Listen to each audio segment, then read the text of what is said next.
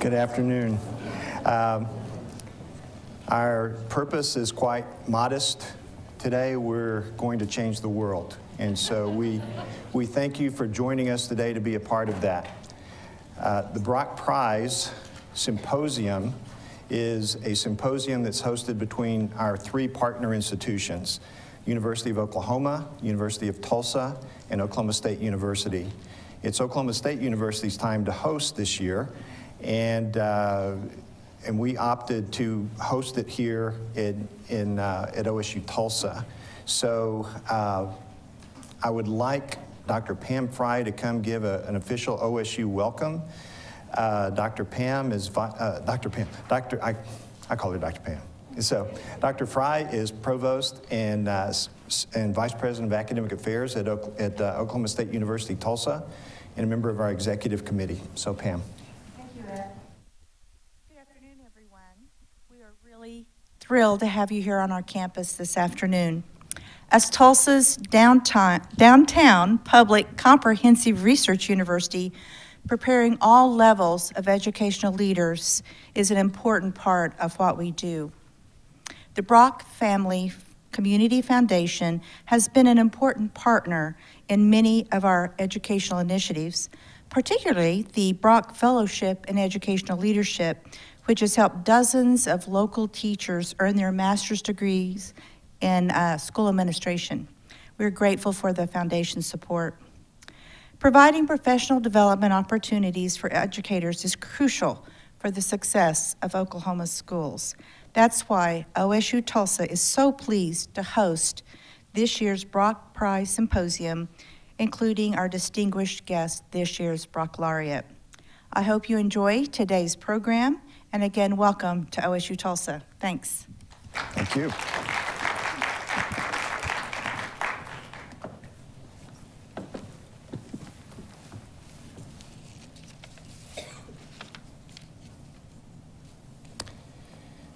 As I mentioned, uh, Dr. Fry is one of our executive committee members, and others on our executive committee are Dr. Martha Banz, Associate Pro uh, Provost and Dean, Extended Campus, the University of Oklahoma, Dr. R.C. Davis Undiano, Director of World Literature today at the University of Oklahoma, Provost Janet Levit, Provost and Executive Vice President of Academic Affairs at University of Tulsa, and I, am also on the executive committee.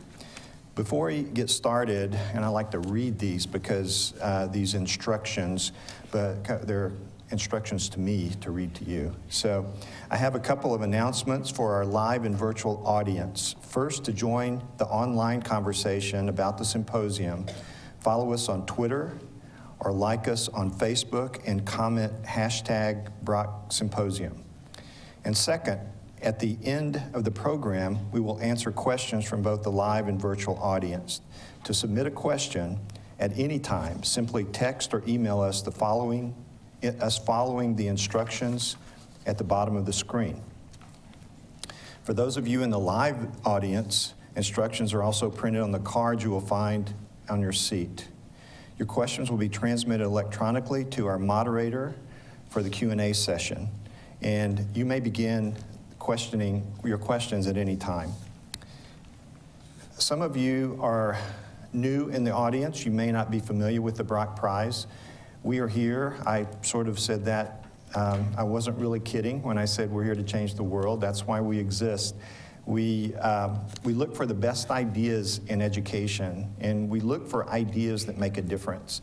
And a lot of educators are here, and you know the numerous ideas and trends that have come and gone, uh, even if you've been in education a, a short time. I've been in a long time.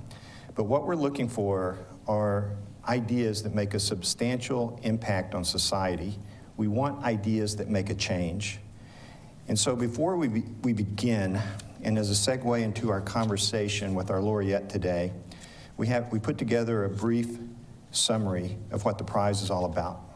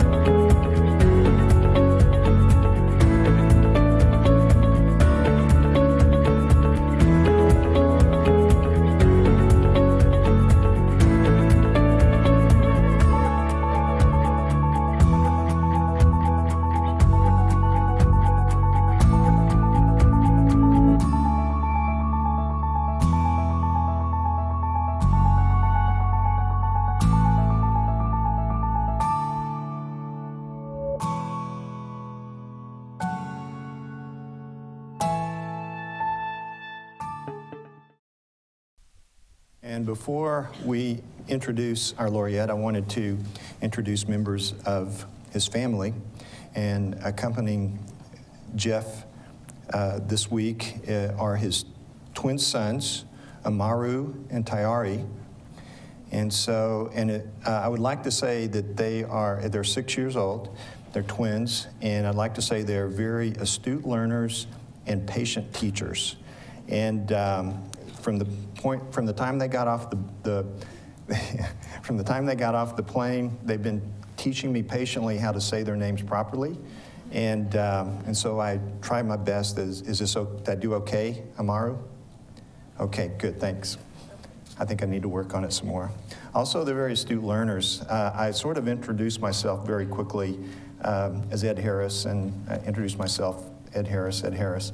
So they picked that up very quickly, and that's one word to them. And so they say, "Hey, Ed Harris, can uh, what's this is my first time in Tulsa," and uh, so so good. And also his partner Glenda is here with him. Also, a very very special guest is his mom, Ada Graciela Duncan, and um, Ada is came here especially for this from from Oregon. And uh, one of the things that I really appreciate about her is that she epitomizes what the prize is about. The last statement there is what John Brock said. Uh, he said, The best thing we do in life is educate our children. And so, Ada, I want to thank you very much for taking that job seriously. And you've done an outstanding job with your kids. I know, especially, I know Jeff. And through your work with him, he's, you're impacting thousands of lives, and so thank you for that.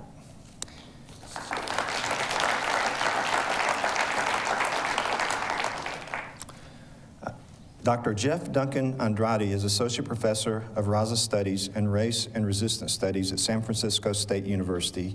He is also founder of the Roses and Concrete Community School, a community responsive lab school in East Oakland, and the Community Responsive Education Group.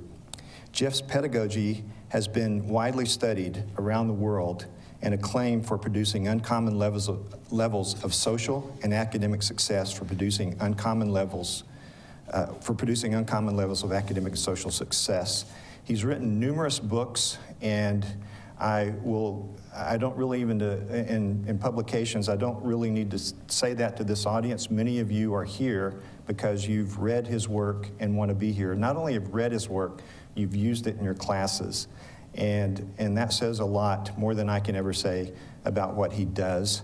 Another thing that sort of, uh, I got a quote today from a 10 uh, year old girl that probably um, summarizes what Jeff is about more than anything I could say. Uh, at Ellen Ochoa Elementary School, they have what they call change makers.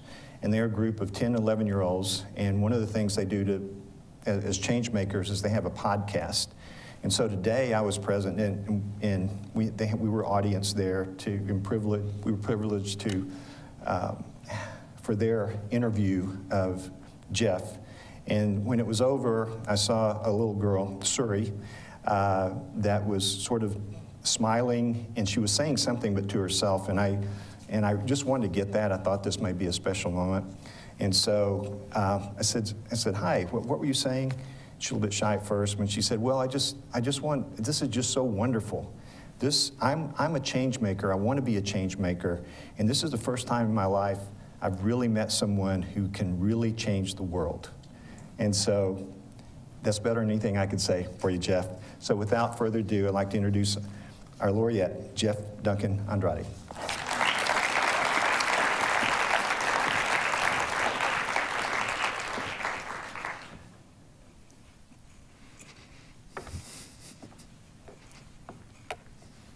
Good evening.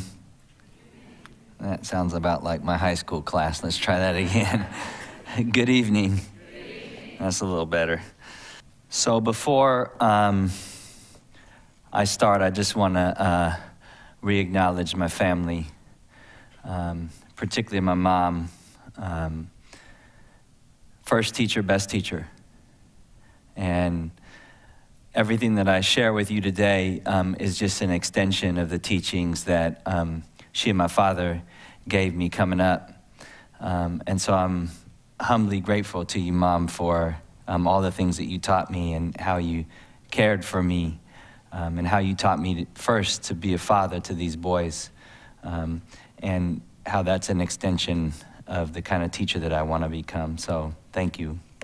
Um, and then also to my partner, Glenda, for all the ways that you support me and have made all of this possible. Uh, Glenda, behind the scenes, was um, a huge uh, contributor to um, some of the materials that Brock asked for to, um, to talk about my work. Um, I'm not very good at talking about my work, so fortunately I have um, close friends and family that, that are.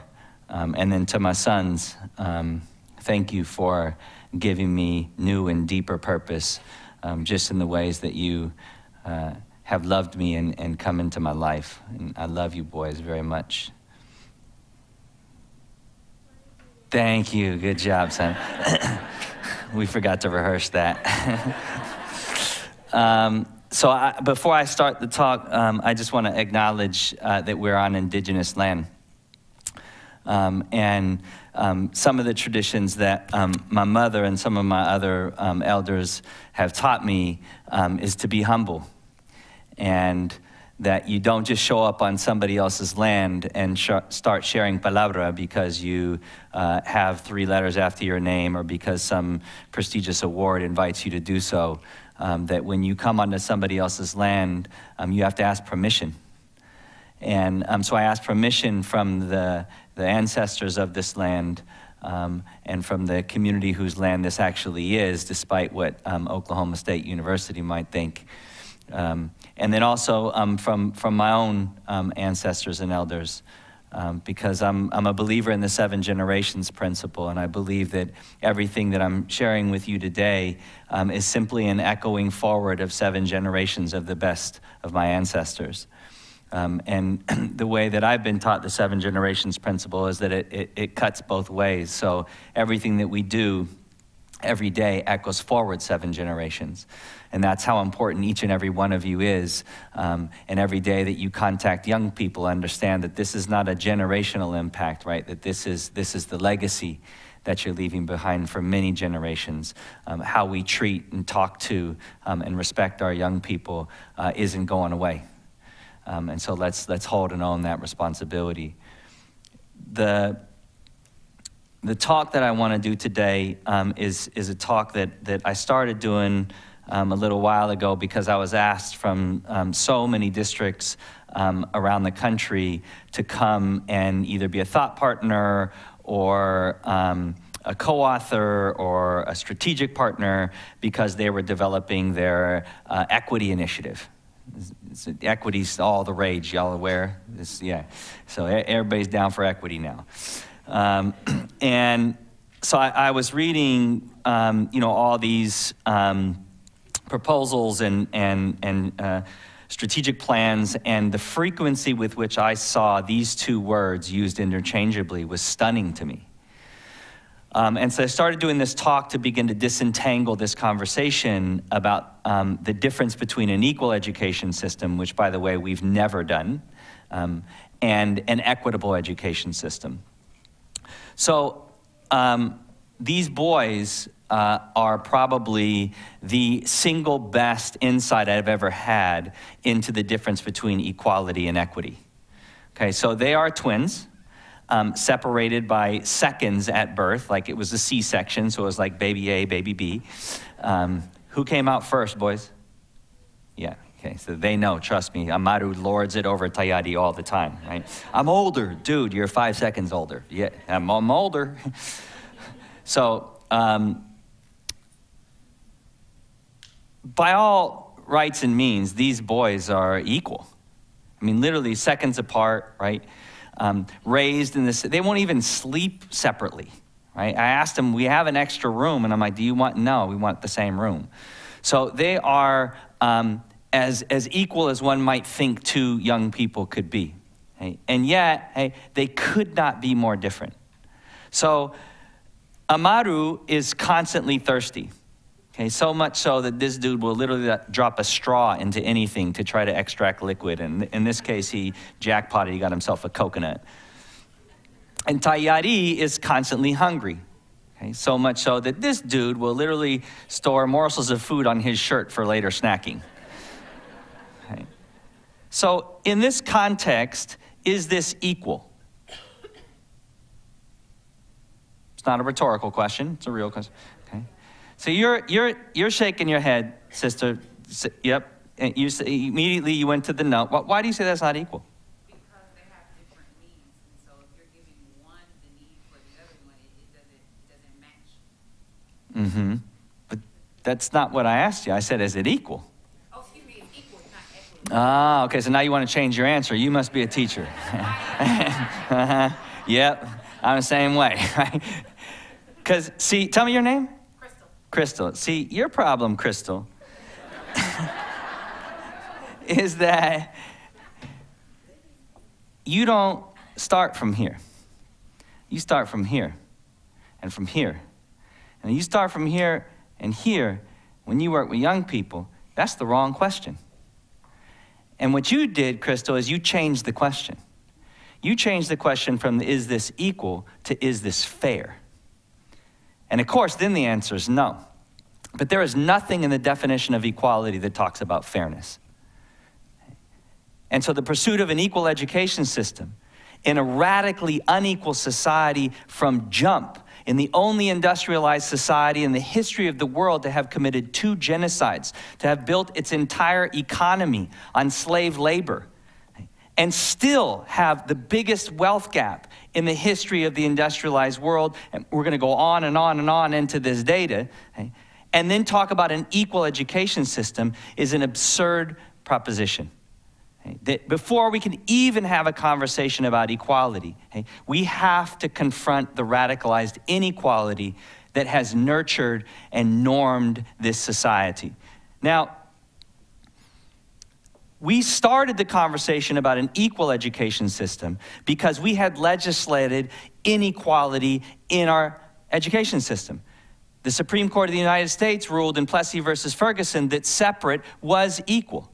Okay, so the Supreme Court had to re legislate its own legislation in 1954 with the Brown decision to say separate is by definition unequal. So since 1954, the highest policy court in the land has established that racial segregation in public spaces, including schools, is illegal. Okay, that's 60 plus years. Does anybody know how much progress we've made on the racial desegregation of public schools since we made a commitment to equal education in 1954? Let's do some prices right. Okay? Throw some bids out. How much? 5%, 10%, 20%, 80%? What do you think? You can't bid negative on the prices right. but you're actually pretty close.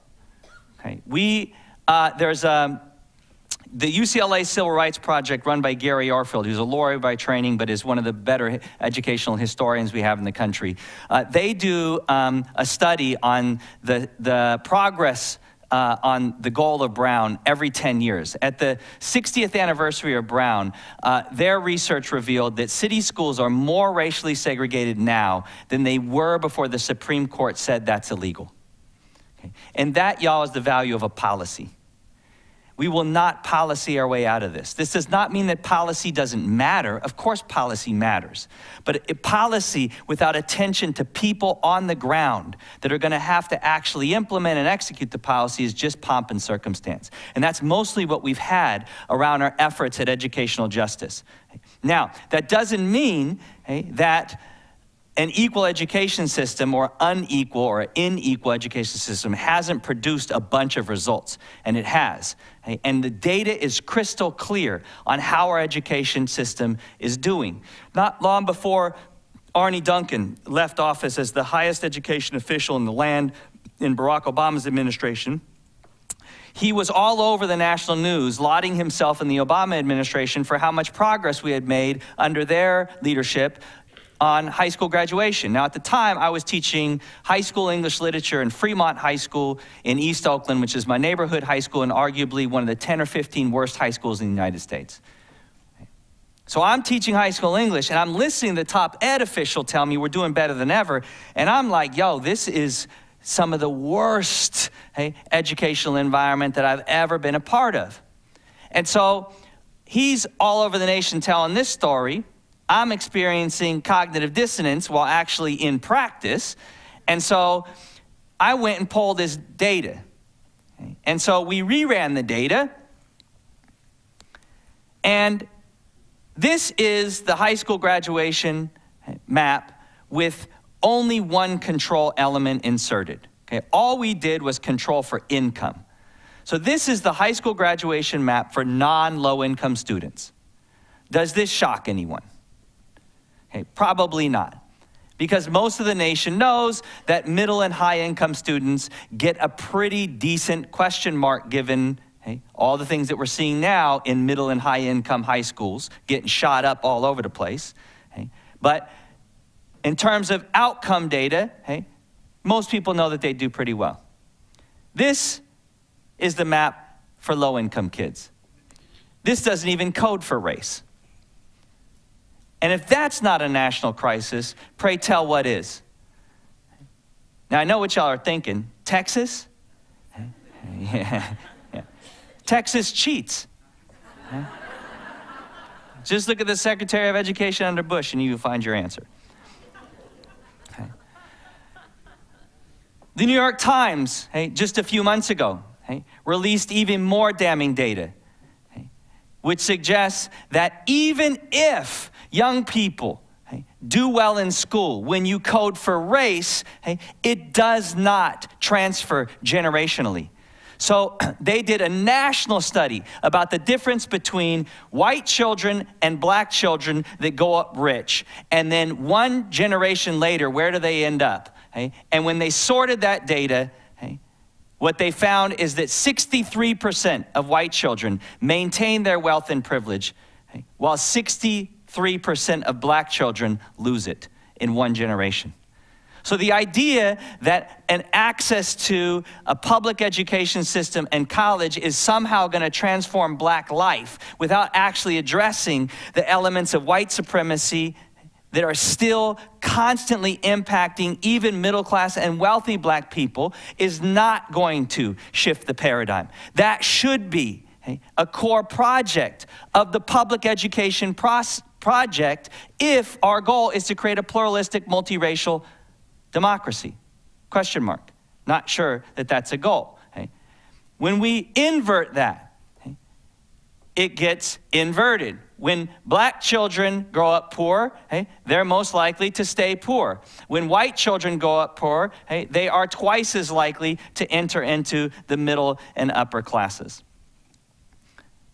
This is not a public education system hey, that is creating hey, the great leveling playing field that was promised. And the list goes, how, how many of all are data driven? Yeah, outstanding. I mean, I, I, look, I think it's important that we're data driven. Okay, now to get here from the hotel, because I'm, I'm, from, I'm from East Oakland, California, I'm not from Tulsa. Okay, so to get here from my hotel, hey, I had to use this. Okay, now my preferred navigation system is Waze. Okay, Glenda likes Google Maps, so whoever's driving gets to choose. Okay, but we used Waze. Right? So to get to here from the hotel, what did I have to put into Waze? An address, also known as data. Okay, now, what would have happened if I put the wrong address in? And Ed would still be up here telling you stories about Ed Harris. and I'd be somewhere else, okay, talking to some other people in Tulsa. But I'd still be data driven. It's not about being data driven. It's about being driven by the right data. And if you keep ending up in the same wrong place with the same group of kids, you're looking at the wrong data. Change the data you look at and change the questions you ask. You change the questions you ask, you change the answers you come up with. And if you end up in the same place again after changing the answers, what you know? Wrong data. Okay?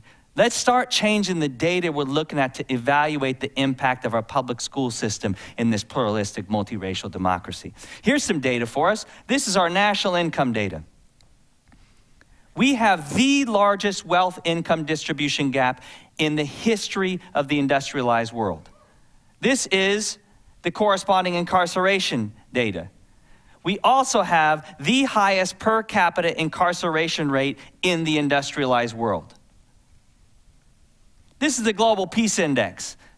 Like any index, it's imperfect, but it is considered the gold standard for international organizations that are measuring peace and democracy in societies around the world. It's used by UNESCO, it's used by the World Health Organization. In 2015, okay, uh, I started tracking this. And what's happening right now is what always happens when I show this slide, which is people have stopped looking at me and they've started looking for the US in the rankings because the US is obsessed with rankings. Well, we didn't make the top 15. In 2015, we were 94th. Now, if there's an index you want to score well on, especially when you're running around the world regulating peace and democracy, it's probably the Global Peace Index. Okay, well, we were 94th in 2015, okay, and it's just been getting worse. The 2018 index just got released, and we're now 121st.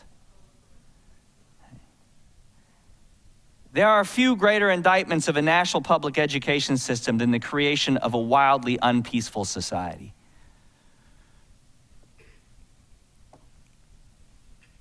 In 1854, London, England was near collapse.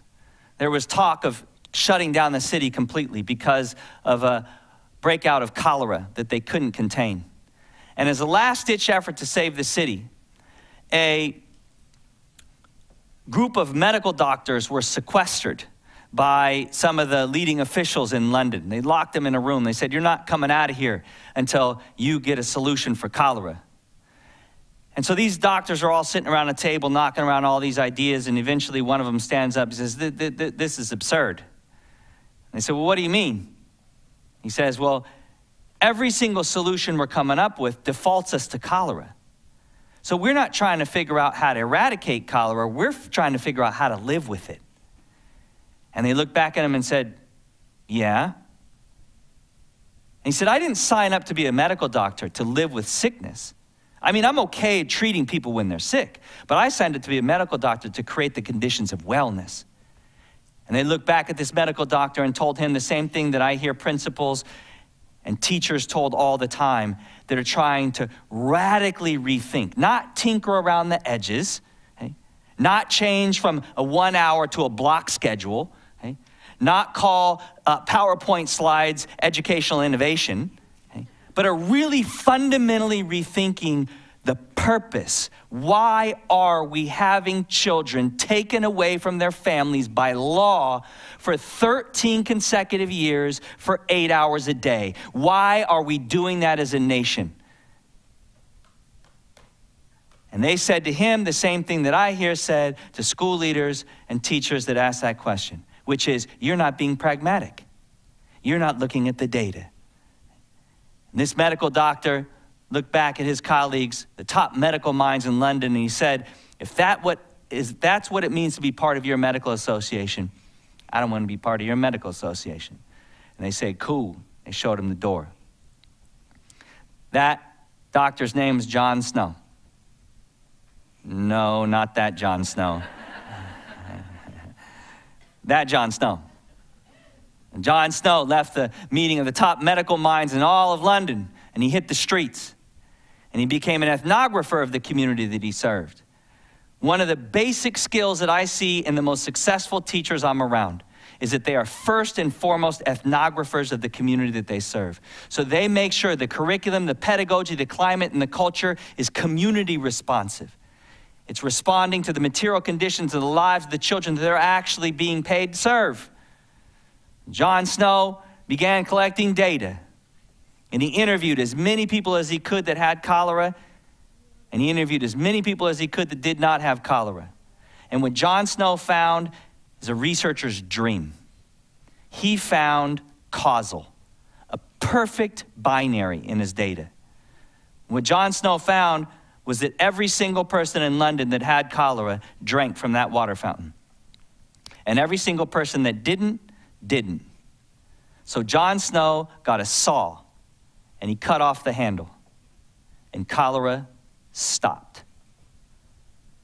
Stop drinking from the poison well of an equal education system in a radically unequal society. All of the data suggests hey, that is not the path that we should be on. What the data suggests is that equity is the superior model, that an equitable education is the way you respond to historicized and present day radicalized inequality in a society. Because in a model of equity, if you're hungry, you get food. If you're thirsty, you get water. If you're hella thirsty, you get hella water. In a model of equity, you get what you need when you need it. And the only way to create a classroom or a school environment that does that is by first asking children and families what they need instead of dictating to them what they need. Now, a number of scholars in fields outside of education, which I find are having much richer and much more accelerated conversations about this, are developing theories on how to do this. Angela Glover Blackwell calls it the curb cut effect. John Powell calls it targeted universalism. Okay? You can, I think these are two great places to look for examples that we could deploy in education to create more equitable frameworks and approaches to meeting the needs of our kids, particularly our most wounded children. Or you could just go back to 1943 and pull up Maslow. And what we find in the research over the last four decades about the most effective teachers is that they tend to lean heavily into Maslow. And what we find in that research is that they tend to situate their practice with a focus in three domains relationships, relevance, and responsibility, which uh, Allison Tintiangco-Cubales and myself have started uh, in the schools that we're working with around the country, started calling community responsiveness. That those are the three legs of the stool that create community responsive classrooms and schools. Now, I just want to acknowledge hey, that um, Maslow, which Maslow acknowledged, and then it gets expunged from his later work. So in Maslow's early work, when he first starts talking about the hierarchy of needs, acknowledges that he didn't create the hierarchy of needs. He actually appropriated it from indigenous people. So Maslow came up with the hierarchy of needs while he was on the Blackfoot Reservation. That is literally a picture of Maslow on the Blackfoot Res with Blackfoot people. And what he did was he adopted an indigenous practice, okay, called the breath of life. And he re- reattached it to where he believed we were as a society. So in indigenous communities, um, this uh, triangle is a teepee. Okay, and what you notice about the teepee is that it's open at the top, right? It's not fixed. So the problem with Maslow's framework is it's all about individualism. It's all about one child becoming self actualized. And that's the pinnacle, right? From our indigenous perspective, hey, self actualization is the starting point. And then the question is self actualization for what? And for us, self actualization finds its usefulness in an individual's ability to build and heal their community. Self actualization becomes useful in a pluralistic multiracial democracy when that self actualization is uplifting the community, not the individual's bank account. And community actualization for what? Okay, for us, the pinnacle is cultural perpetuity, the passing on of the best of our culture and our practices okay, on to the next generation of children, and not repeating mistakes in school to the next generation. Because our schools are not about truth and reconciliation, we find ourselves in the situation we're in right now. Had schools been teaching about the African Holocaust and the indigenous Holocaust that happened in this country, we'd be a lot less likely to be having this conversation about what's going on with young black men in police. We'd be a lot less likely to have this conversation about what's going on alongside the border and this wall and all these people that we're trying to keep out. We'd be having a, a much more profound conversation about our collective humanity. And it opens to the sky because it's not single generational right? It goes up, and when it go up, comes back down into the earth. Okay? What we pour into our children okay, is what we will grow next. Okay? So that model that Maslow came up with, he said, is a model of a sick nation. That as long as a nation is executing on this paradigm, the Maslow hierarchy, we are sick. Because what that paradigm says is you actually have to say, you have to feed, clothe, shelter children. We, that's why indigenous people don't say it, because duh. that's not the starting point. Hey? If we have to say that, we in tr- we're in trouble because we actually have to say it. What Maslow said is we will be on the path hey, to a truly civilized and evolved society when this conversation is no longer needed because everybody's doing it. Hey? And he said that's what indigenous people are onto, hey? that we need to recommit to as a society because right now we're sick. That was 1943. And there is substantial research to suggest that indeed he is right and that the most successful teachers are doing this on a consistent basis, and that's why they're so successful. So there's a lot of research to suggest that those three domains are the places we should be drilling and consistently drilling. I'll lift up a few, hey, and I won't have a lot of time to go into depth with them just because this talk is aimed to be shorter. But um, with respect to relationships, right, I would start you off with Herb Kohl, hey, who was uh, coined the phrase "willed not learning" to describe children that fail in schools, not as failures, right, but as children that are making conscious decisions to not learn from this system. And when he was interviewing one of those kids, uh, it, it produced probably the most famous quote from the book, okay? Because he looks back at Herb Kohl and he says, Herb, I don't care what you know until I know that you care. And so recentering that as, and if you've taught a day, you know that's the truth, right?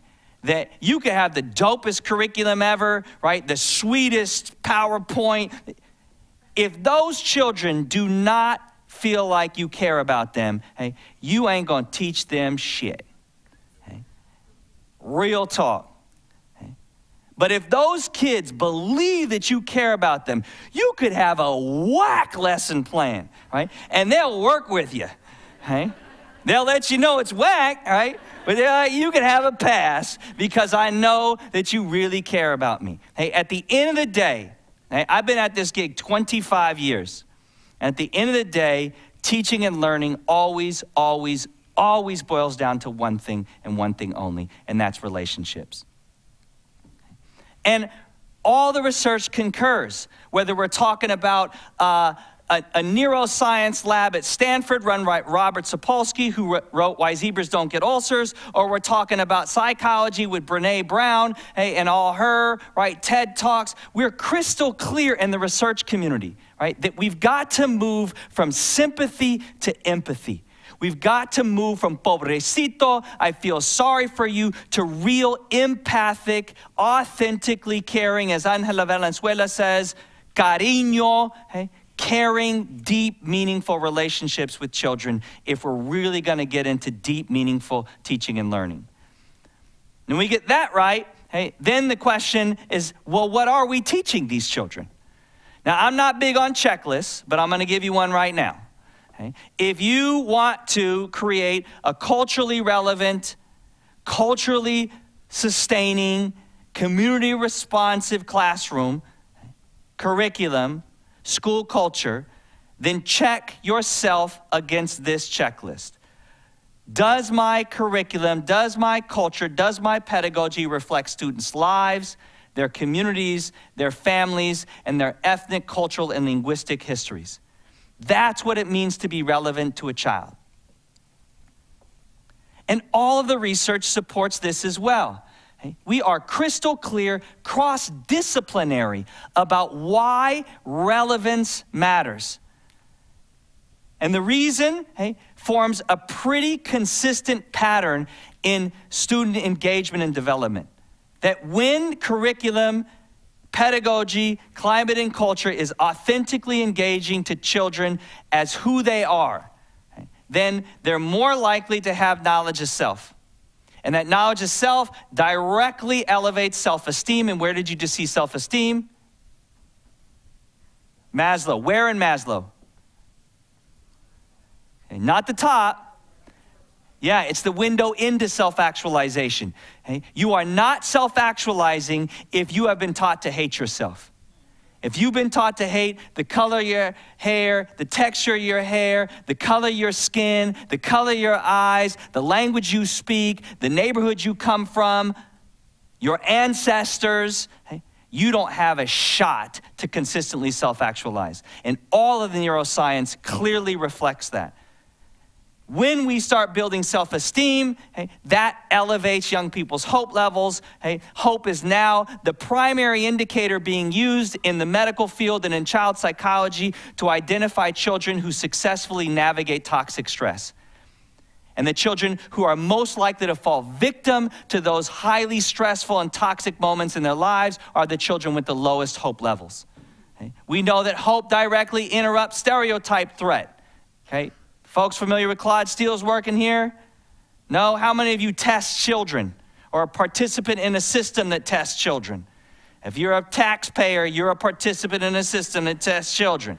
Okay? Read Claude Steele's work. Read Whistling Vivaldi. Claude's a black psychologist at Stanford okay, who is one of the first psychologists to uncover why there are consistent achievement disparities in standardized tests amongst kids of color and white children, even when you control for parent income, parent education, the number of words that they were read to when they were 2.5 years old.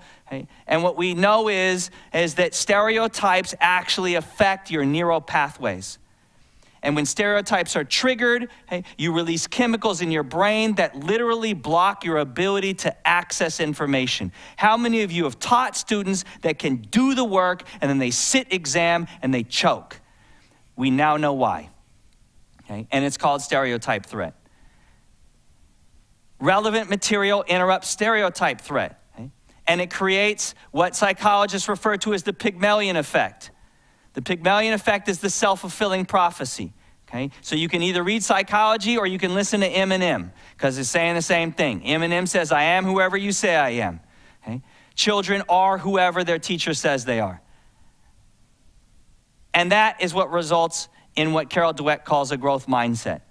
Okay? And if we want a growth mindset in children, we've got to cultivate a growth mindset in the adults that teach them. The, the mindset of children simply reflect back the mindset of the adult. And if you spend a day in high school, you know this to be true.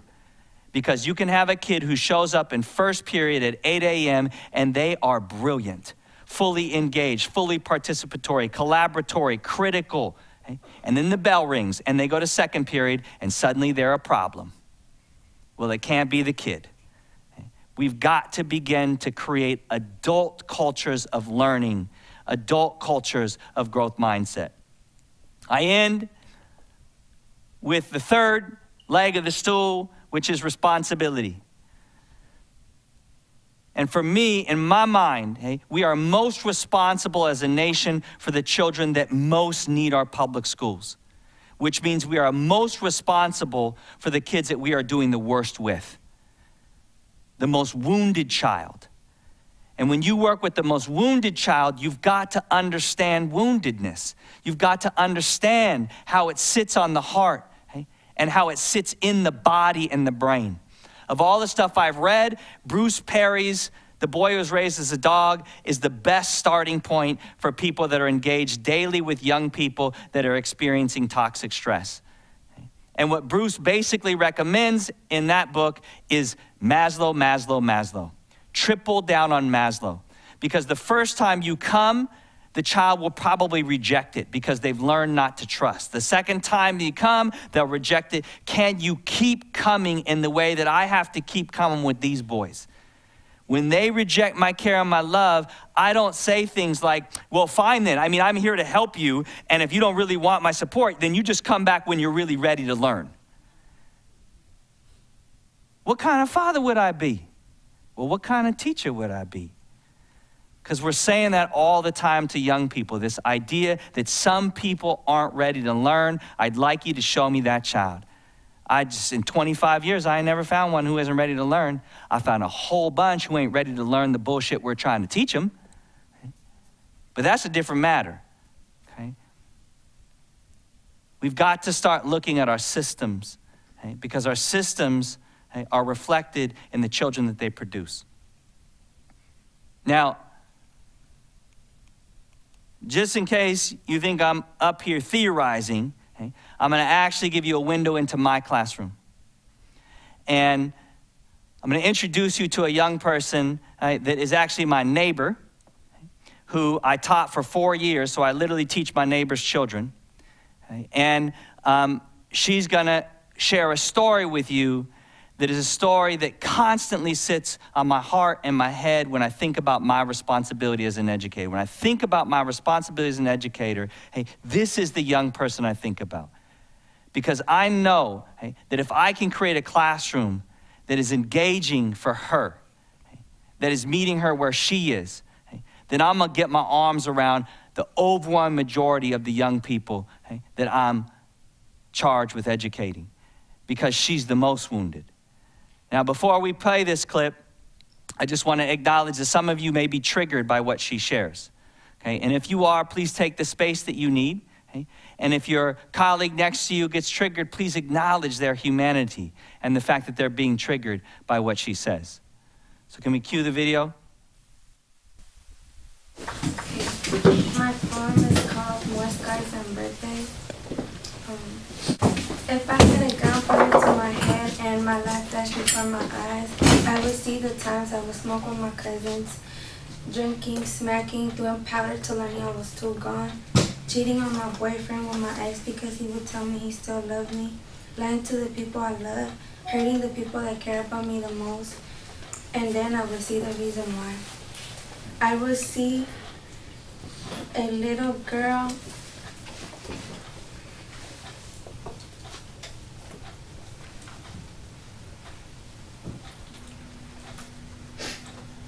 You can do it. Okay. We're with you.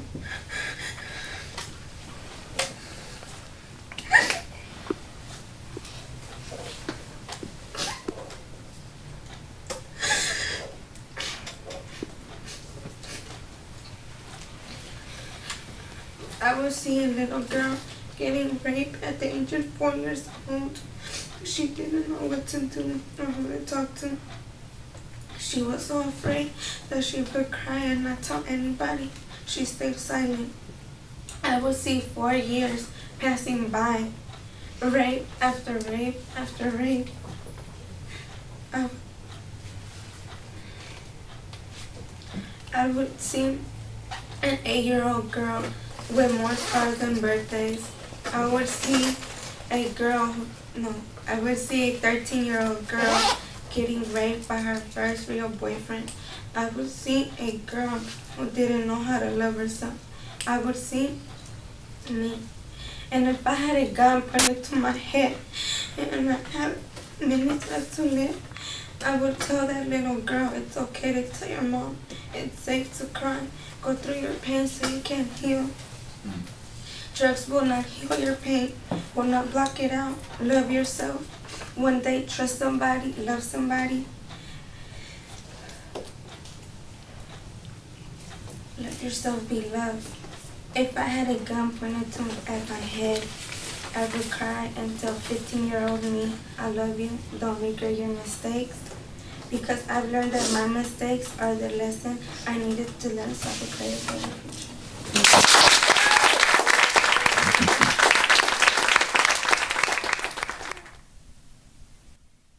How do we create classroom spaces, curriculum, pedagogy, relationships, where young people can bring that truth to bear as a core element of their educational experience and be held. You hear the students calling out to her, Go ahead, we got you. You know why they're saying that? Because they're next. And they got similar stories. And so I'm going to hold you because I'm going to need you to hold me. How do we create classrooms where that level of truth telling can happen and no chisme happens? No cyberbullying that doesn't hit the hallways. Right? But young people are taught to hold each other's woundedness knowing that that holding of that woundedness is the key to the collective healing that our community needs. You want to know how to stop the shooting? Love. Only way a young person picks up a gun and shoots somebody else that looks just like them is if they look in the mirror and they hate what they see. So many of our young people are going through school year after year. When, when, when does it first happen to her? When she's four, which means she went to kinder, first, second, third, fourth, fifth, sixth, seventh, eighth. My ninth grade class, she didn't let me have this till 10th grade. So she spent 10 years in school carrying that before school created a place where she could speak that truth in a way that she felt like she would be held and healed. When I think about our responsibility as educators, it's about that kid. And I guarantee you, that kid is in your class. And all the data shows it. The national data on youth trauma shows that urban youth are twice as likely as soldiers returning from live combat to display the symptoms of mild to severe PTSD. That's the national data on youth trauma. One in three urban youth display the symptoms of mild to severe PTSD. And teachers get one trauma training a year. like, okay, you're now trauma informed, right? Go fix the trauma. We've got to rethink what we're doing and why we're doing it. Now, I'll end okay, with the indigenous wisdom okay, that we've so often rejected that when we return to, so often provides answers. And the Cherokee, like many indigenous communities, have a story that they tell about a young boy who's out in his front yard and he's playing around in the front yard and he comes running into the house and he runs up to his abuelita. He says, Abuelita, I feel like there's a war going on inside my head. And she says, There is, mijo. He says, Who's fighting, abuelita? She says, The two wolves. He says, Who are the two wolves, abuelita? She says, Well, one wolf is rage, avarice, greed, selfishness, violence. He says, Who's the other wolf, abuelita? She says, The other wolf is cariño, familia, love, empathy. And he says, Who wins, abuelita? And she says, The one you feed. Those wolves are alive in every single one of us, every child we teach. That is not the question. That is the human condition to be at war with ourselves. The question is when we will create educational paradigms that feed cariño, familia, love, empathy as rigor, as the things that we're actually measuring in schools. When will schools base their progress based on youth wellness and stop differentiating the wellness of our children from their academic scores? This is how we get the highest performing students in the nation directly responsible for the collapse of the housing and the banking industry. We can name them. Go and look for yourselves. They had the highest GPAs, the highest SAT scores, the highest grad school admission scores, went to the most elite colleges and universities, but they lacked a moral compass. We've got to rethink the purpose of this project if we're going to change the outcomes of this project. The point of public education is not to escape poverty. The point of public education is to end it. And if I can support you in any way on that journey, please do not hesitate to reach out. We are far from having it figured out. We struggle every day to try to put the pieces together. But we're trying to put a puzzle together that looks very different than the puzzle that we went through and the puzzle that I see a lot of people still trying to wrestle with. Thank you.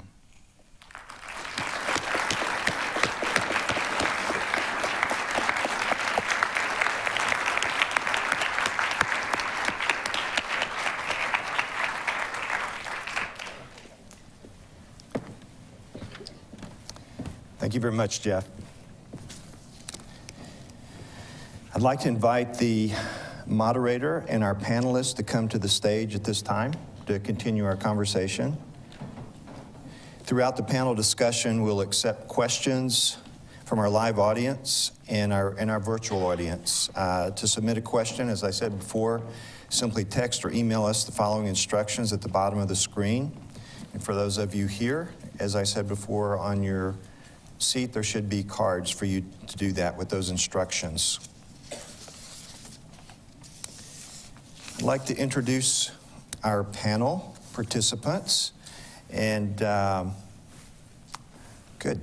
I didn't. Sorry, got Yeah. behind you. All right. I thought I was, al- was getting already. It's time for me to go. Um, Mr. Marco Herrera it serves as the assistant principal of Ellen Ochoa Elementary. A community school in East Tulsa. Pre- And previously, he served as a pre-K and kindergarten teacher at Tulsa Leg- Legacy Charter School, and he and he is a Teach for America Greater Tulsa alumnus and is originally from La, La Frontera, La Frontera, El Paso, Texas. Great job. Thank you. Mrs. Leach, Miss, Mrs. Lisa, man, I'm really messing this one, everything up today. Okay. Uh, Ms. Lisa Witcher has served Union Public Schools for 17 years in a variety of administrative roles at the building and district levels, and currently as the Senior Executive Director of Instructional Services. Uh, as that, in that position, she oversees professional learning, leadership development, early college child, uh, early college high school, uh, college and career programming, and various other projects in the district. Jason Gillen, Gilly, oh, Mr. Jason Gilly currently serves as the building leader for Central, uh, Central Fine and Performing Arts located in Tulsa, Oklahoma. He's a product of Tulsa Public Schools and returned to Tulsa in 2006. 2008, where he would serve students at KIPP Tulsa College Prep, McLain High School, and Central Fine and Performing Arts.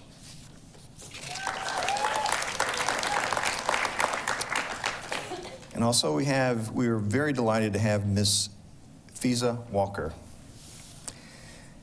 Fiza is currently a senior at McLean High School, taking courses at Tulsa Community College and a full-time big sister.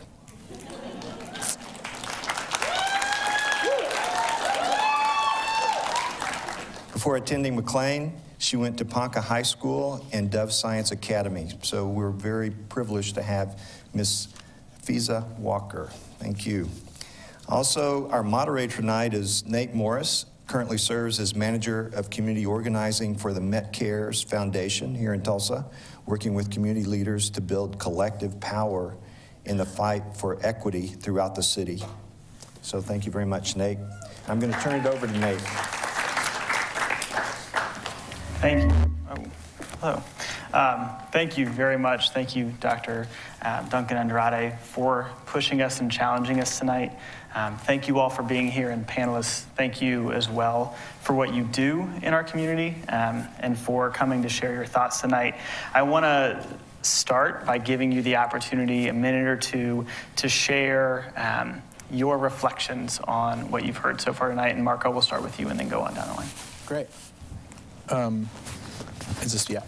Um, so I think there are two fundamental, like sitting and listening, um, still trying to process all of that, right? Is I think I have two fundamental takeaways um, love and outcomes. And so uh, something Dr. Duncan said at the very end that I thought was really salient and really important to me is, is measuring. Um, and creating conditions within schools where we're measuring and, and uh, the, the ability of children to love each other and to work and collaborate amongst in, within a community to empower their community. And that's, that's, that's so important. And I think at the root of that is teachers that love children. I'm just an assistant principal. I'm just one guy who gets to go every, to work every day, hang out with the dopest children to ever walk the face of this earth. Um, I said at every school I've been at, with just three, and they're all dope. So I think just kids in general are dope. Um, and so when I just, I like, I'm always having these moments of just like, just sheer, just total inability to just even understand how incredible the work that teachers do every day when, they, when, when you see it in action, when you see something like love, when you see a classroom like that where a teacher loves their students, you, one, you know it right away from the second you walk in there, and I think two, you um, you feel it and you're just you're constantly blown away by that. And so going back to what he said about creating you know relationships relevance and responsibility and and creating love among students i think about two teachers that are here and i'm going to really this is i'm going to be a little corny and be really uncomfortable and ask them to stand up. Miss whitehall and miss yates can you guys stand up for a quick second? And can everybody give them a round of applause? Um, so i think I think, again, I don't, I don't know anything, okay? I don't know anything, but I do know the, the work that these two women have done with a student in their classroom, Mr. Shaw, first grader, um, has, I've seen over the arc of a school year, a, this, this child that is engaged with his community, that is engaged with his friends, that loves himself, loves the people around him, and is a, is a not just a functioning member of our school community, but is a, is a is, is a beautiful addition. He's an asset, and he never was, he never was not that. But he's giving him the skills to, to, to showcase the skills that he has by building relationships with him. I've seen them, I was like going through this checklist in my head as I was coming up. I was like, oh, they've done all three of those, easy. He's like, we can talk, hit me up after, I'll give you every single example that I have in my brain. Um, and to wrap my point up, the second thing, I think about outcomes. Um, I think about outcomes in that if, if, this, if we're in an inherently inequitable society with an inherently inequitable education system, then the outcomes, the measures, the assessments, the things that we're testing for should just completely change and be completely different and not exist in the way that they are now.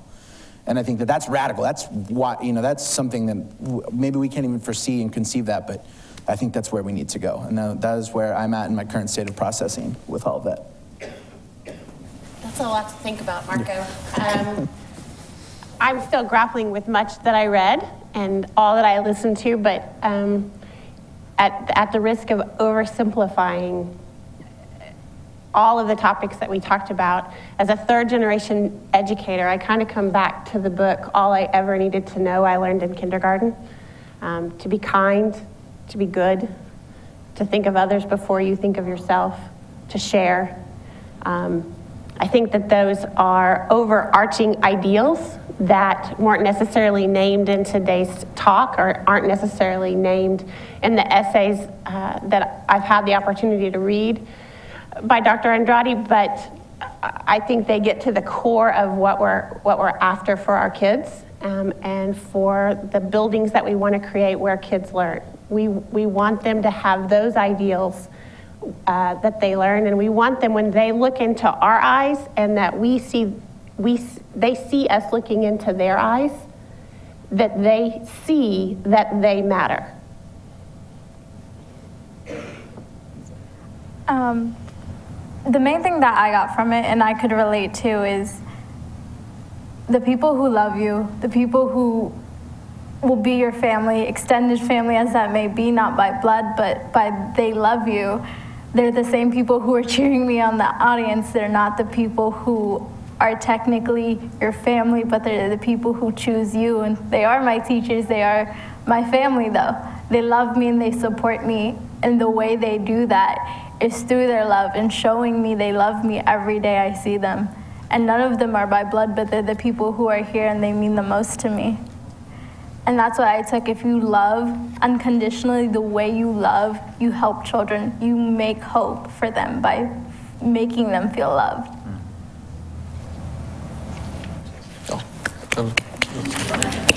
She's on point, yeah. Um, so yeah, um, in my role, uh, a lot of times I have uh, various duties and responsibilities from a district, um, and sometimes things get a little overwhelming. Things get a little cloudy.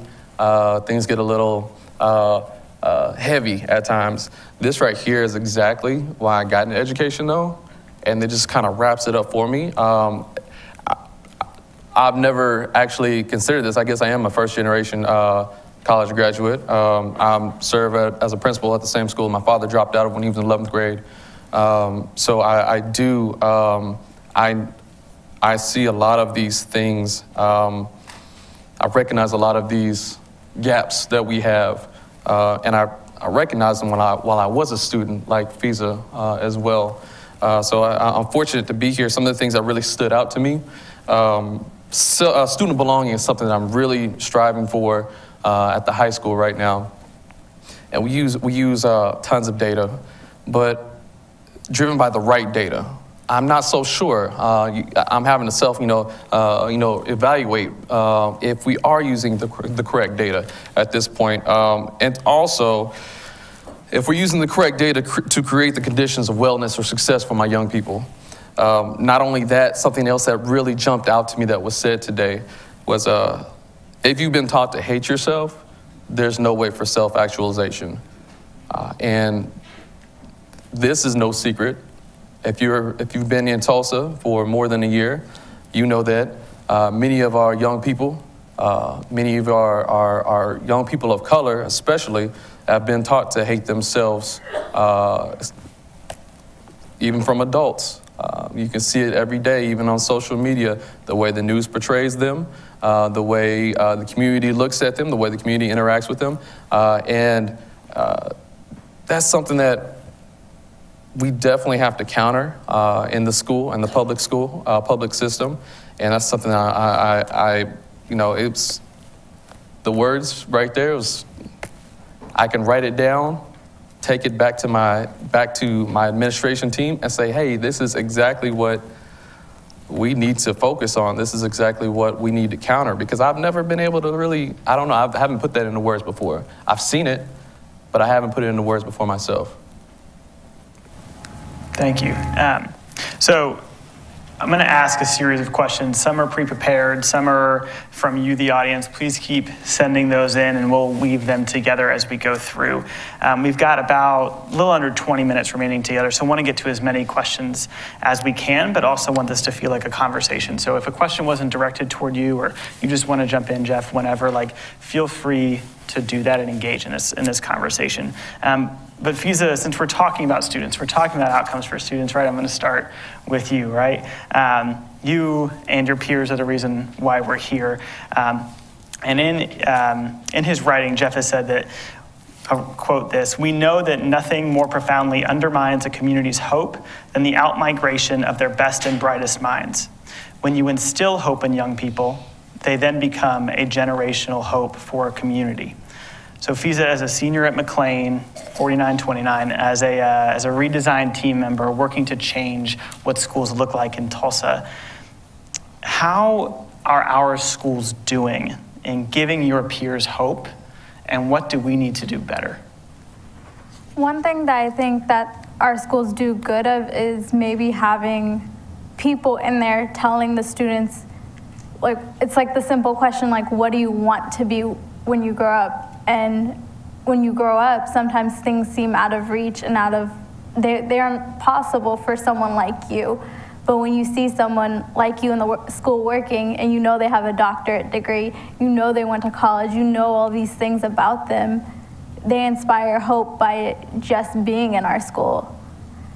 And then on the opposite side of that, being how do we crush what they are and how, like their hope, how do we do that? And it's by telling them you are only going to be confined to this school in this area. This is all you will ever amount to is your community. And they always make it seem like a bad thing. And the way we portray what is like the right thing you're supposed to do when you get out of high school and what's the wrong thing, but it should be whether or not you are doing what you love and what to pursue and are you are you happy? Are you safe? Those are the more important questions. Are you able to do the things you need to? Not, oh, you're, wait, you're going to come back to the community and you're going to stay. Why aren't you leaving and going far away? Those shouldn't be the questions we ask. We should ask, oh, you're staying here. Is this something you love doing? And it comes back to like feeling belonged and knowing what your good is and what your right is isn't by any means a definition to anyone. Thank you.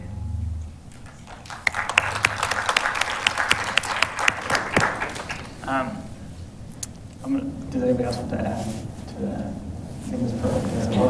Thank you, because I think that's a good, um, a good jumping point.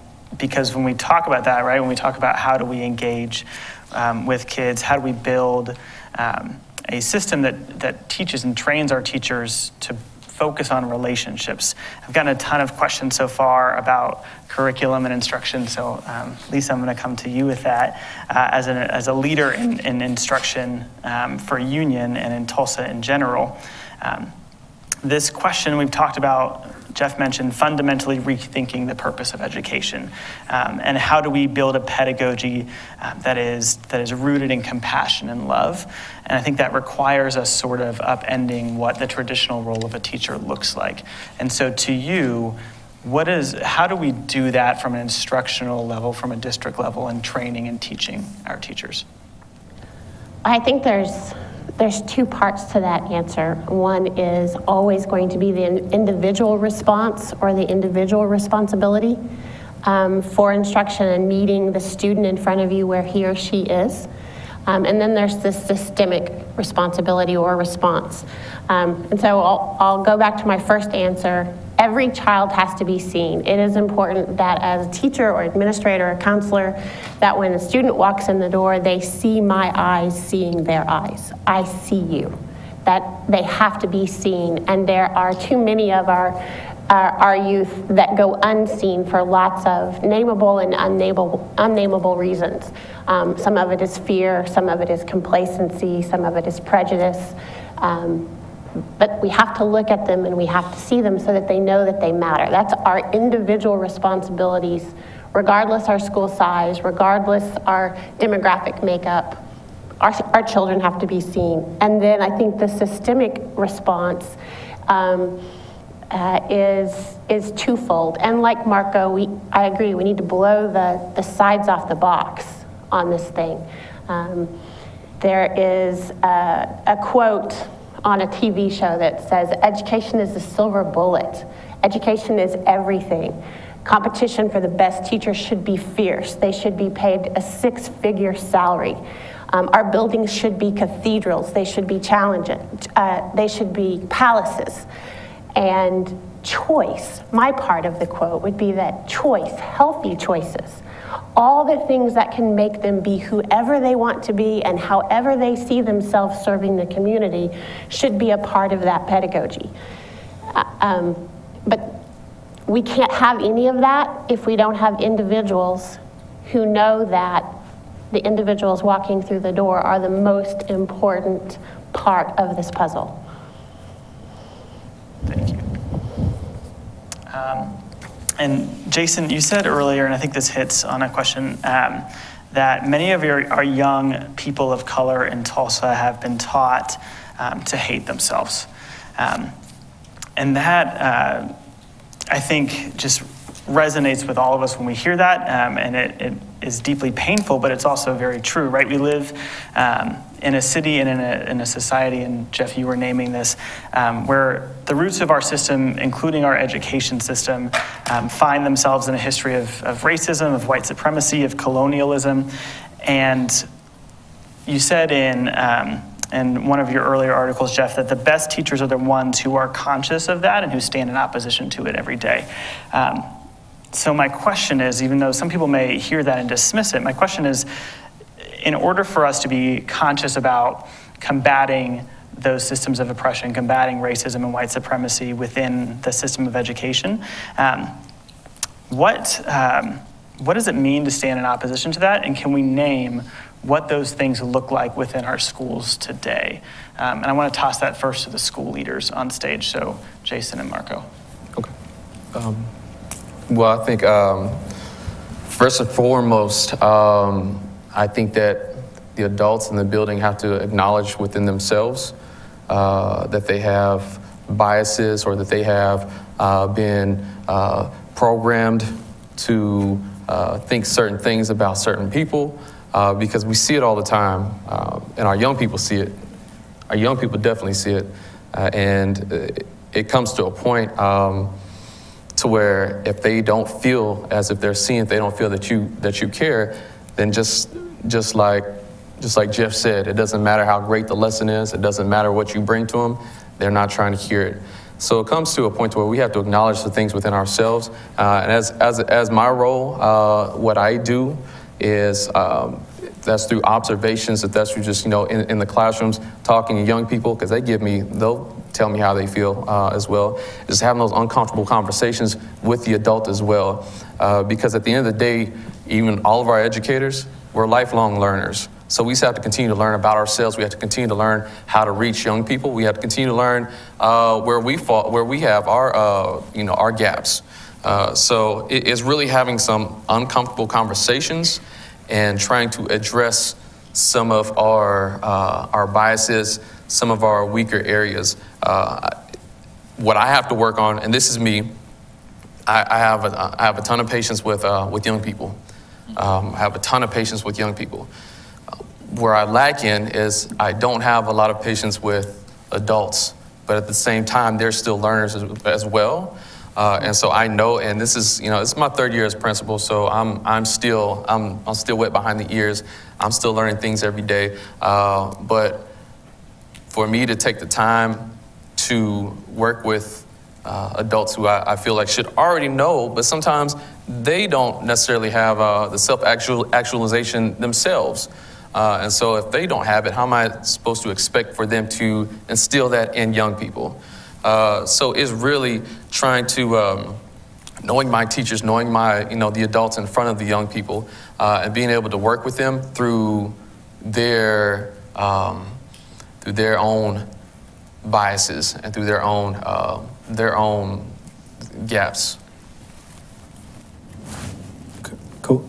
Uh, yeah, um, similarly, a lot of what Jason shared um, about the first part is having the conversation with adults in the room. There's an inherent power that adults hold within a school building. Um, and it's structured in that way. So I think addressing the biases and, and mindsets that exist within adults is, is, a, is a crucial first step. Um, I also think it's about honoring the context and honoring the community and honoring the fact that in, within the white supremacist colonialist society that we exist in, communities of color that, that we work in, those communities haven't, as in general, haven't been granted their own dignity and humanity. We, we judge uh, the way that parents are parenting, we judge the way people live their lifestyles, we judge, you know, we dictate, this is what you need, I dictate this need based on what I feel is important and what I think is valuable. You are lacking in that, so I'm going to give you this, but there's no conversation. So valuing the dignity and the humanity of the, of the community on a, on a structural level and saying, I want, to, I want the community members, community should be a part of every single thing that we do at schools. Every single decision that we make, they should be a part of. We want to dismantle colonialism. Colonialism is big on power. I got the power, I'm the assistant principal, I'm the guy that sits in the front office. How am I going to dismantle that? I'm complicit in it right now because that's the way it's structured. So let's dismantle that, but let's bring the community in. Let's honor the, in, the, the sanctity of, let's honor the sanctity of the children that are in the building.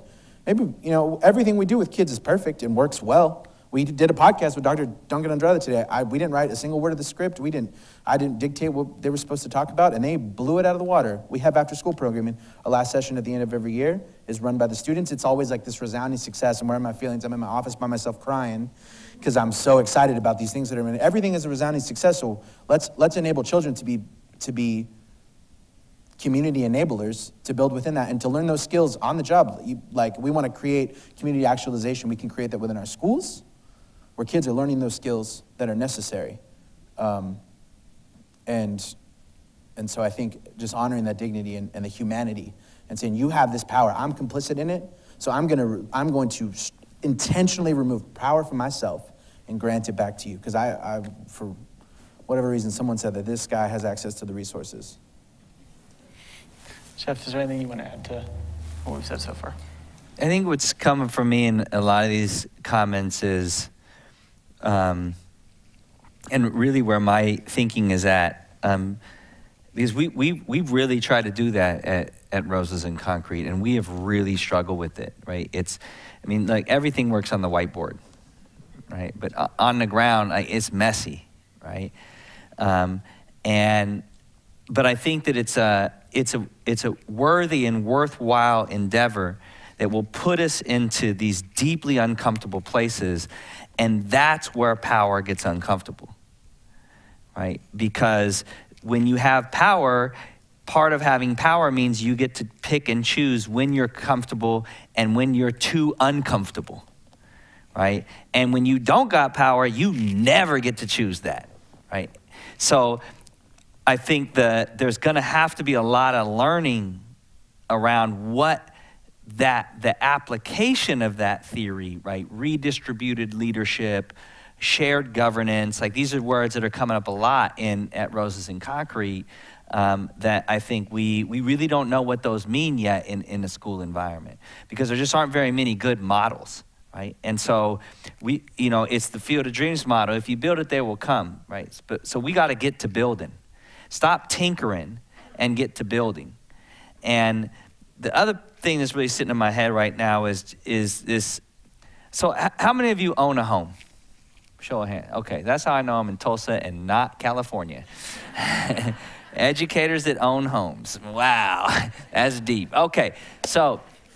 Um, so, any of you that own a home, uh, when you first bought the home, what was the first thing that you had inspected?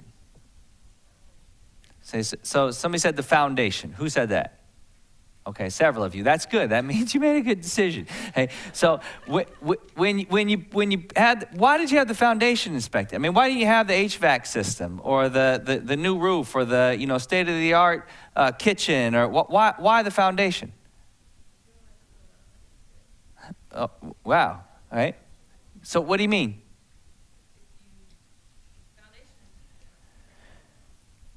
Right. Right. So, have we really looked at the foundation of public schools? Because the foundation of public schools is rotten, particularly for working people, poor people, right? But the public sensibility and narrative is that is, is the, the old Horace Mann okey doke, right? Which is this is going to be the great equalizer. But if you actually study Horace Mann, read Joel Spring, okay, American Education. If you really study um, the, the, the, origins of public schools, you find that the, you're no longer confused about why what's happening in public schools is happening, right? So if we are, you wouldn't do that in your house, but we keep doing it in schools. We keep putting lipstick on the pig. It's still a pig, okay? So what we got to do, right, is to get foundational right? And that's the purpose trip for what? Okay, because schools are doing exactly what they're designed to do. So, can we please stop saying that schools are failing? Because my mom is 90 years old, and one of the things that she continues to teach me is that if you're doing what you're supposed to do, you ain't failing. Right? So, schools serving poor children and children of color are not failing. They are doing exactly what they're designed to do. And if we start there, then, right, the work changes because then we stop tinkering with stuff. And we start saying, actually, what we need to do is buy dynamite, right, and rebuild, okay? And that's, right, that's the work of truth and reconciliation, telling the truth about what we've done is the only way that we change what we're doing. But we're loathed, we're death dodging, death ducking, death denying, as Cornel West says, right? We duck it all the time, and kids know it. They know you're lying to me. You are lying to me. Right? Read James Loewen's Lies My Teacher Told Me right? We do it all the time and we know it. And until we're willing to really confront that, then kids are going to have a hard time really deeply, authentically investing in school, particularly the most marginalized and wounded youth, because they're living out our lies. And, and so, yes, I'm with you on like, I want kindness, right? But I'm also recognizing that I work with so many young people who, you want me to be kind? Come to my hood and tell me to be kind. Police shoot me. People that are paid by the state to carry guns and protect and serve execute my people. And until we're willing to deal with that, don't ask me to be kind. Okay? Now, yes, I want my sons to be kind, right? But to me, part of kindness is telling hard truths, right? And I don't think that's what we mean when we talk about young people being kind, right? And, and so I want to combine those two ideas, right? That kindness is an authenticity that I don't think that we've achieved yet in schools. And I believe, fundamentally believe, that, and I believe this to my core, y'all, we could flip this in one generation. In one gener- if one generation of children goes through school and at every single, this is what I was telling your young people today, if at every single edge of that school, they experience that any form of inequality is odious. So, no oppression Olympics. We can't deal with white supremacy and ignore male supremacy. We can't deal with male supremacy ignore class supremacy. Can't deal with class supremacy and ignore hetero supremacy. All forms of inequality on the table all the time, any form of inequality odious. Imagine a society where young people go through a public school system where that is all they know. I don't care what's happening at home. I don't care what's happening on the block. I don't care what's happening on TV, right? Schools are the single biggest influence on young people's lives. No one has them more, including the parents. We have them the longest. If that's all they knew in school for 13 years, what kind of adults would we have? We'd have adults that were intolerant of injustice. Right?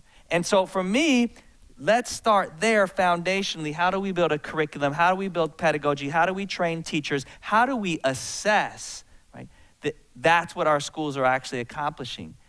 And then I think we got a fighting chance to start eradicating some of, the, some of this stuff, right? And really create a transformation in this society. They're the key right? We all know it, but we don't seem to change the way in which we work with them. Thank you. Thank you very much. And um, there are a ton of incredible questions, and I know that we could all probably sit here and have this conversation for a lot longer, but unfortunately, we do have to close it up. So um, thank you again to our incredible panel and to Jeff for your time tonight.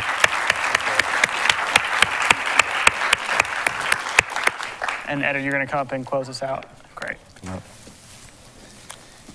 Yes, I, I agree. Um, one of the things about the Brock Prize is that to bring to get these ideas in the open, and we're certainly not going to solve the problem uh, in this hour and a half, but hopefully in Tulsa, in the, those people that came, those of you that came here today, this hopefully is a beginning of a very intentional, critical conversation that we have, and a truthful conversation. And you may uh, may not agree 100%, but that's also part of being a community, is talking through things, getting things in the open, uh, working through things. And I think as uh, educators in Tulsa, uh, that's our in Oklahoma, that is our task. And hopefully, this is the first of many, many conversations like this that we have. And I agree with Jeff. In one generation, we could turn things around. So, uh, again, Jeff, I really thank you for being here today. I'd like to give Jeff one more round of applause.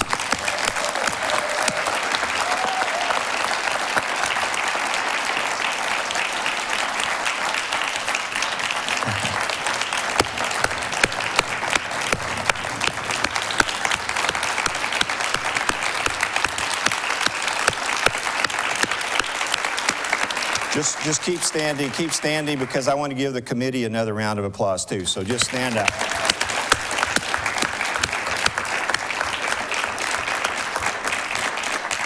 And thank you. I'll say a few closing, very few closing words and we can go. But uh, there's a feedback card and we'd love to have your comments on this. Uh, we really take those in, in consideration. We look at all of them. We do keep record, or rec, we keep data on, on this. and so we're data driven in that way. Um, and I'd like to recognize several individuals who really contributed to this planning and development of this year's uh, Brock Symposium. One is uh, Dr. Pam Fry, again, executive committee member and also provost here at OSU Tulsa, and she really did a lot in helping us prepare, just paved the way for us to do this. Uh, I'd like also to thank uh, Dr. Chris Ormsby, who oversees ITLE at Oklahoma State, and we have a world-class uh, OK State TV uh, media specialist. And uh, and they are, they are the prime people, and I really thank you so much for, for what you've done. Uh, we also had a planning team here Anissa West, Andrea Castaneda, Greg Robinson, Tim Newton, Sandy, Sandy Calvin, and Rita Long. Thank you very much for planning this. It was, yes.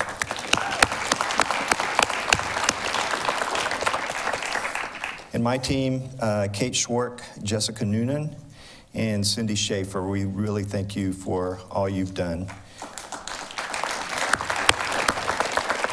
Again, thank you very much for coming. And remember, the most important thing we do is educate our children and drive carefully.